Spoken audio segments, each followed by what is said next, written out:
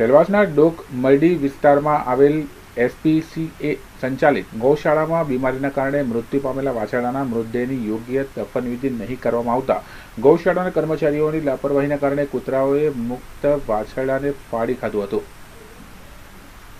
કૂતરાઓએ મૃત વાછરડાને ફાડી ખાધું હતું.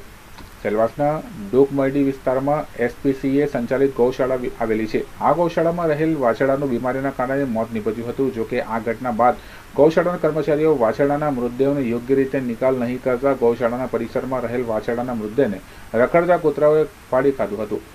અત્રે ઉલ્લેખનીય છે કે ગૌશાળાનું સંચાલન કથળી જેવા પામ્યું છે, જેના કારણે કોઈ તકેદારી નહીં રહેતા. ગૌશાળામાં રાખવામાં આવેલ ગાયો અને વાછડાઓને દૂષિત પાણી પીવાની સાથે ગંદો બગાડ પણ ખાવું પડે છે. જ્યારે ગૌશાળાના પરિસરમાં મૃત વાછરડાને કૂતરાઓએ ફાડી ખાતા ગૌરક્ષકોમાં રોષની લાગણી જોવા મળી હતી.